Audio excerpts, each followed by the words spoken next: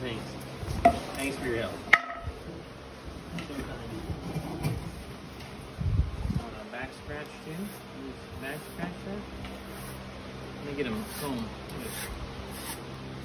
There we go.